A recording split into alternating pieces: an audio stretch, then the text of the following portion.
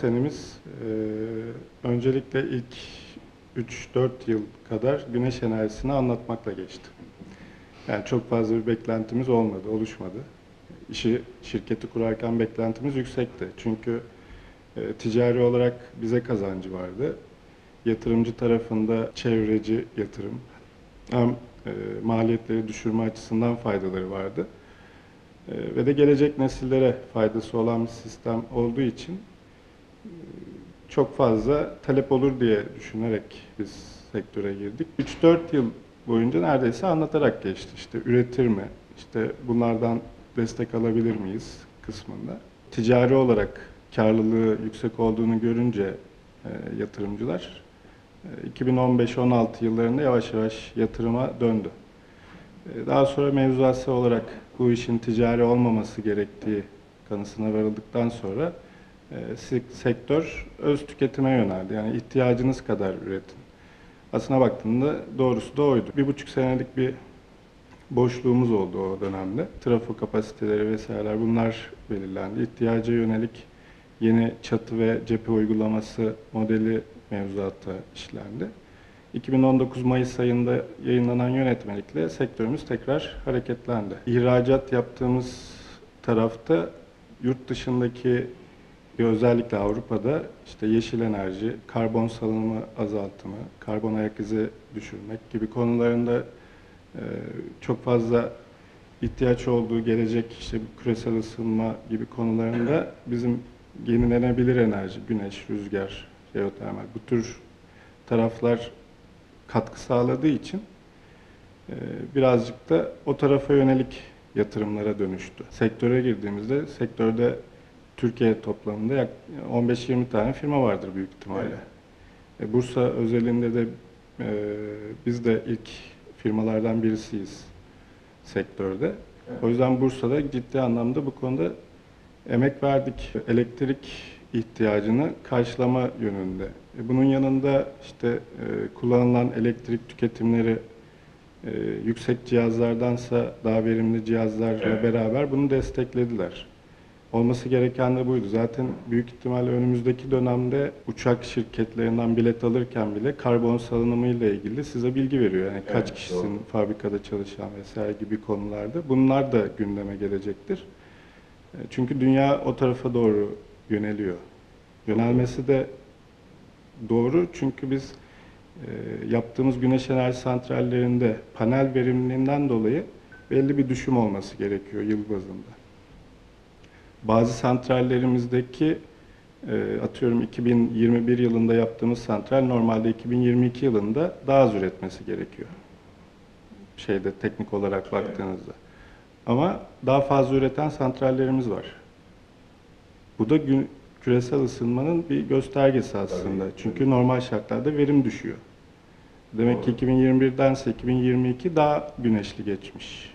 Şirketi kurduğumuzdan beri e, yaptığımız işin en iyisini yapmak isteyerek yola çıktık. Yani vizyonumuz hep o yöndeydi. İyi markalar, kaliteli işçilik ve güzel sonuçlar. Türkiye genelinde sektörde, piyasada olan arkadaşların hepsi az çok bizi tanırlar. Biz Samvitel olarak doğru iş yaptığımızı kanıtlayabilirsek ve sıfır memnuniyetsizliği oluşturabilirsek güzel Biz doğru yapıyoruz demek. Evet, yani doğru yolda olduğumuzu ve herhangi bir şekilde e, kriz vesaire gibi konulardaki endişemizi sıfırlamak, azaltmak anlamında bizim için bir güç oldu.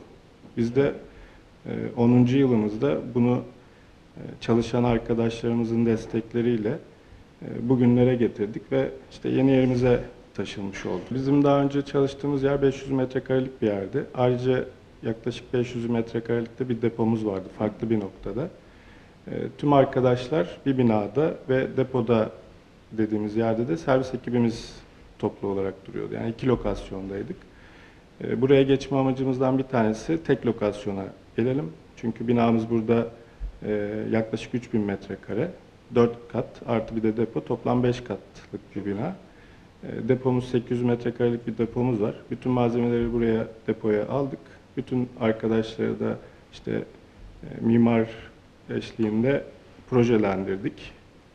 Geleceğe yönelik e, kişi sayımız artar sayıda planlayarak, altyapısını da ona göre kurarak sıfırdan dış cephe hariç sıfırdan bir bina yaptık. E, Bunun sonucunda e, 2013'te işte 14-15 yıllarında 3-4 personelle devam ettik. İşte 5 personele çıktık. Sonra 2017 bizim sektörün tap yaptığı sene e, bu arazi yatırımlarıyla. O zaman 14 kişiye çıktık. 2017 18 başından 2019'a 5 kişiye düştük. O sektör çünkü durmuştu kapasiteden dolayı. 2019'dan sonrası e, o 5 kişi 10 kişi oldu, 15 oldu. Şu an 45 kişiyiz. 45 kişilik bir personel ve bu 45 kişiyi son bir buçuk yılda yani 10 kişiden 30 kişi ilave ederek, 35 kişi ilave ederek birden bir e, sektörün ihtiyacına cevap verebilmek adına yaptığımız bir hareketti aslında. Bir iş yapıyorsan, bir şey üretiyorsan bunu en başta senin kullanman ve yapman lazım. Önce sen inanıyorsan önce kendin yapman gerekiyor diye düşünüyorum. İşveren tarafından ziyade biz böyle daha çok abi kardeş tarafında hani kurumsallaşmanın tarafında ilerliyoruz fakat bütün arkadaşlarla bağ kuruyoruz ki e, daha sağlam bir aile yapımız olsun. Evet. Bir şirketimiz olsun. İki tane başvurumuz oldu. Ee, Happy Place to Work ve Great Place to Work yani mutlu iş yeri Evet. sertifikalarında bu sene e, %93 oranında mutlulukla bunları almaya hak kazandık. 2022 yılındaki başarılardan dolayı işte Wisman, Pekintaş'la çalıştığımızdan dolayı onlardan aldığımız ödüller var. İşte katıldığımız seminerlerden aldığımız ödüller var bilgilendirme amaçlı. Şimdi sektör çok e, yeni, hala yeni. Her ne kadar şu an e, çok fazla sektöre girenler olsa da yine yeni. Çünkü bilinmezlik çok on taraflarda, o arkadaşlarda. Bizim avantajımız, artımız da biraz o burada çıkıyor. 10 yıllık bir know-how var, bir birikmişlik var, bir tecrübe var. Bunları seminerlerde anlatmak bizim için de gurur verici oluyor. Ciddi yatırımlar, maliyet açısından da ciddi anlamda yüksek yatırımlar. Ee, Sonuçta ülke bizim ülkemiz. Doğru yatırım, doğru uygulama olması gerekiyor ki yarın çöplüğe dönmeyelim. Bizim komponentlerde en büyük kalemimiz panel. Yani fotovoltaik paneller. Bu tarafta paneldeki oluşan ham madde yurt dışından geliyor, hücreler. Burada e, yaklaşık geçen sene e, 20-25 üretici varken şu anda 50-60 ve üzerinde üretici oldu. Sektör birden böyle hareketlenince Türkiye'de. Buradaki bütün ham maddeleri alıp işte alüminyum çerçevesi, cam, backsheet, junction box, hücreler bunların hepsini birleştirip şu anda yaklaşık 60-70 tane fabrika bunu Türkiye'ye panel üretiyor. Hücre üretimi de gündemde. Tabii bunun e, yurt dışındaki maliyetiyle buradaki maliyeti arasındaki ben farkı bilmiyorum ama e, bu da sonuçta bizim ülkemiz için katma değerdir. O yüzden e, yatırımlarda devam eden firmalar da var hücre üretimi konusunda. İkiye ayırıyoruz. Konut projeleri ve endüstriyel projeler diye. Şimdi e, bugünün şartlarında bizim 10 yıldır e, sektördeki en dip fiyatlardayız şu an yatırım maliyeti olarak. 75'ten ye- şeye düştük, 25'e düştük. Yaklaşık 4 yıllarda geri dönüşü var endüstriyelde. Konutlarda bu 8-10 yıla çıkıyor. Bunun nedeni de şu, e, bir 1 megawatt yani 6000 metrekarelik çatıya yaptığınız projelendirmede 10 kilowattlık yaklaşık 70 metrekaredeki yaptığınız projelendirme her şey aynı. Sabit bir fiyatınız var. O fiyattan kaynaklı ev projeleri biraz daha yüksek kalıyor. Bu yüzden evler daha az bu bölgede az talep oluyor. Endüstriyelde daha fazla talep oluyor. Şimdi bir de araziler var. Dağıtım bölge sınırı vardı eskiden. İşte e, buradaki bir fabrika sadece Uludağ Elektrik, Uyedaş bölgesinde herhangi bir uygun marjinal tarımın tarıma elverişli olmayan araziye GES yapabiliyordu ya da rüzgar yapabiliyordu. Bunu da açtılar. Yani bağlı bulunduğun dağıtım bölgesinden tüm Türkiye'de yapabilirsin dediler. Yani buradaki bir fabrika e, atıyorum Karaman'da, Konya'da, Van'da bir arazi gezisi yapıp buradaki tükettiği elektriği orada üretebiliyor. Dolayısıyla bu üretim tüketim farklı dağıtım bölgesi olmasına rağmen bir tasarruf sağlamış oluyor. Bunu açtılar. Bu yüzden de çok fazla talep var. Diğer taraftan e, her ne kadar uzun vadeli yani bir, en az iki senesi vardır diye düşünüyorum. Akülü sistemler depolamalı GES'ler daha geliştirilmesi gereken bir konu. Hem mevzuası olarak hem e, sistem olarak. Çünkü depolama dediğimiz zaman ciddi bir yatırım maliyeti maliyeti. gerekiyor. Evet. Ve işletme maliyeti de geliyor. Çünkü e, depolamanın 10 yıl, 15 yıllık ömrü var. 10-15 yılda bir o depolamanın tamamen yenilenmesi Yenilenmesi. gerekiyor. Evet. Bu konularda da işte dünya bizim ülkemizde çalışmalar yapıyorlar. 2023 yılı Cumhuriyetimizin kuruluşunun 100. yılının güzelliği dışında çok bir güzelliği yoktu açıkçası. Yani o gurur tablosunda daha keyifli, daha güzel 100. yılımızda işte her hedefimizi başardık. Nasıl bu toprakları Türkiye Cumhuriyeti kurulduysa biz de bu tarafta istediğimizi yapabildik demeyi isterdik. Üzücü bir deprem yaşadık. O bizi ciddi anlamda etkiledi. Her- Herkese etkilediği gibi. Elimizden geldiğince destek olmaya çalıştık. Hatta güneş enerjisi falan orada bir sistemler yapıp oraya gönderdik ki orada elektrik ihtiyaçlarını karşılamaları için akülü sistemler yaptık. Daha sonrası seçim dönemiydi. Biliyoruz bizim hem Türkiye'de seçim olduğunu hep önümüzü görelim moduna geçiyoruz. Ramazan, Ramazan'da duruyoruz. Seçim, seçimde duruyoruz. İkinci seçim, bir daha duruyoruz. Orada finansman durduruldu. E, faizler artmaya başladı. E, böyle olunca yani aşağı yukarı baktığımda 2023 yılında 8 aylık bir kayıp gibi. Yani Doğru. hedeflerimize yaklaşamadık. 2024 açıkçası ben e, yine bir seçimimiz var Mart ayında.